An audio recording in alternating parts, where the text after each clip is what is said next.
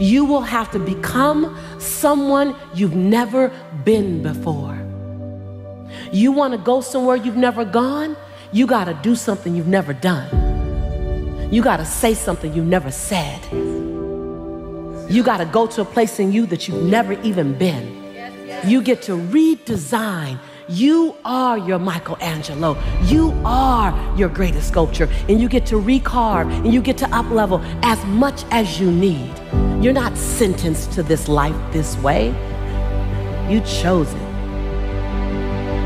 You get to choose as much as you want. You get to design it any way you choose. You're not sentenced to your future. You have an opportunity to your future. What do you want and how do you want it? And if it doesn't make you a little afraid, then you ain't playing big enough. Your knees are supposed to knock a little bit. Your teeth are supposed to chatter a little bit. There's supposed to be at least two butterflies in your stomach.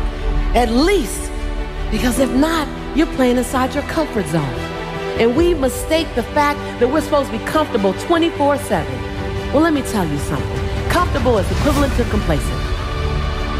I'll choose inconvenience every day, any day, to make a difference on the planet.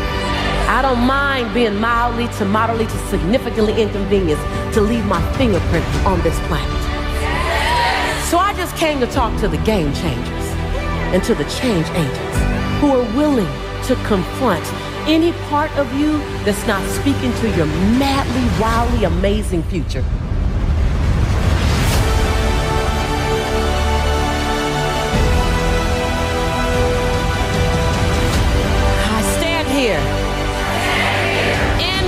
Greatness.